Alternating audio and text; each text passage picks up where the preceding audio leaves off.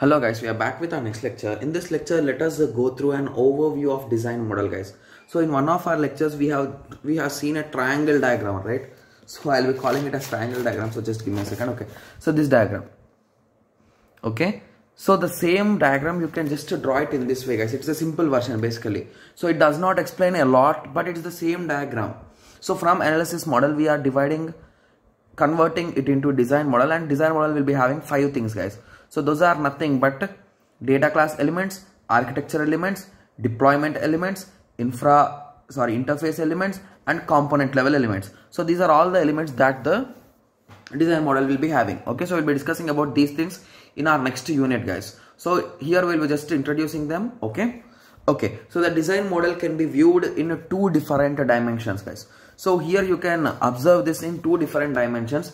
That is nothing but one is horizontal and the other is vertical guys. Okay, so first let us go through horizontal. The process dimension indicate the evolution of parts of the design model. Each design task execute executes executed. So basically once one is executed, you'll be getting the result in that way.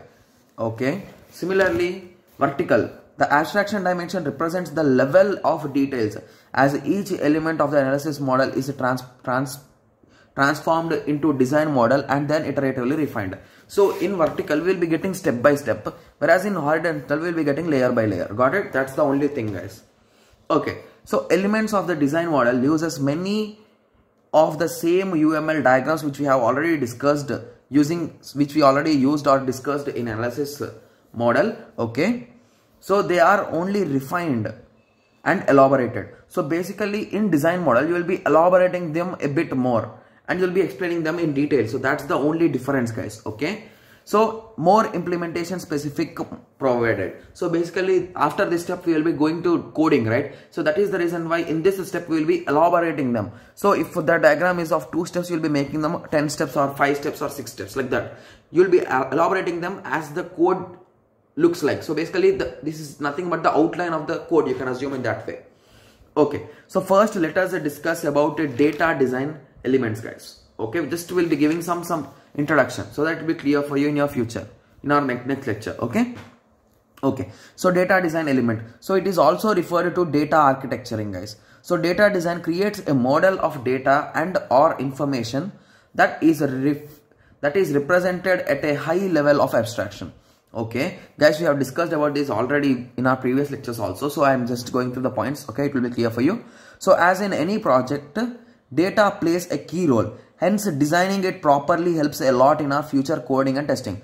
So i have discussed you with respect to data centric model right? So in center we will be having the data and based on the requirements we'll be designing these kind of models guys. So even we are having hybrid process models and everything we are having many things we'll be discussing about them in our next unit. Don't worry about that okay? Similarly architectural design elements. So architectural design element is nothing but a photocopy as you can say it is the architecture in which we are using okay okay so it is nothing but the photocopy of the end software to achieve the following, we need to have the knowledge of the application domain and the relationship between the UML diagrams and we need to have a proper architecture style. Okay. So infra interface design elements. So this tells us how the information flow into and out of the system. So basically it will be saying what will be going as an input and what will be coming as an output. So it includes user interface. Basically remember that guys because we'll be discussing in detail about user interface and external interface and internal interfaces. Okay. So the next one is nothing but component level design, right? So that is the fourth one. Yes, after that we are having deployment. Okay. So component level design. As the name suggests, the component level design provides the details against the software with respect to particular components. So basically these things, if you recall in deployment diagram and in most of the places we wrote drawn these kind of diagrams. So this is nothing but a component guys. Okay. So in, in order to achieve this component design, describes the representation of data structure. So we'll be representing in this way. So assume that this is an event that is nothing but AWT event. Okay. So the component is inscribed into the interface. So basically this will be inside the interface guys. So this kind of component. So they'll be related in this way. So after that let us go through deployment level design. Guys the next whole chapter we will be discussing about these five steps only. So that this is just an introduction for it. Okay don't worry that you uh, didn't understand anything don't worry we'll be discussing these things in our next unit don't worry Okay, so these indicates how the software functionalities and system or subsystems will be allocated written within the physical com physical computing environment that will support the software.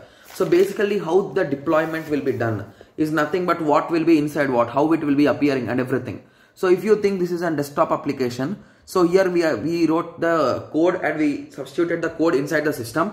So now this PC will be, will be assuming it as restaurant PC. So it has multiple sorry just give me a second okay so it has multiple components and each component one component is order and the other component is recipient or receipts so both are the databases and we will be using a printer to print the bills and we will be using multiple devices to send the data into it so you can call this is nothing but a uml develop deployment diagram guys okay so these are the five steps which we will be discussing in detail in the next unit guys okay so I think the unit name will be starting from 4.1 to the end of 4 guys. 4 point ending. Okay.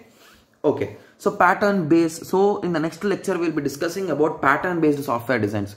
So basically in designs also will we have any pattern? So we'll be discussing about that in our next lecture. Okay. So let us meet in the next lecture. Thank you. Thanks for watching.